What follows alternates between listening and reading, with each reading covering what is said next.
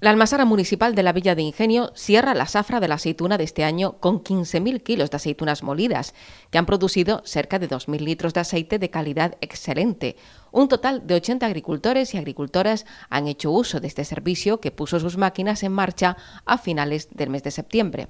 Los buenos resultados obtenidos este año han motivado que el municipio participe de nuevo en el sexto concurso oficial de aceite de oliva virgen extra de Gran Canaria 2021, con el que el Cabildo de Gran Canaria promueve y difunde entre la ciudadanía el cultivo del olivo y sus productos, además de fomentar la calidad de los aceites de la isla. La cata, que será abierta al público, se celebrará el 2 de diciembre. El mejor aceite de oliva virgen extra de Gran Canaria obtendrá un premio de 2.000 euros y el segundo y tercer clasificados recibirán 500 y 300 euros respectivamente y se entregará una distinción acreditativa a la mejor imagen y presentación.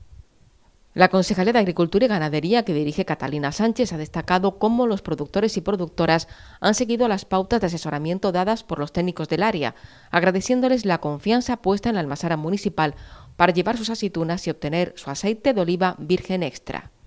Según los acuerdos con los agricultores y agricultoras, el ayuntamiento se quedará con el 20% del aceite conseguido en la almazara, que tiene como destino la promoción de la propia marca de aceite del municipio de la Villa de Ingenio en diferentes ferias gastronómicas, turísticas y mercados.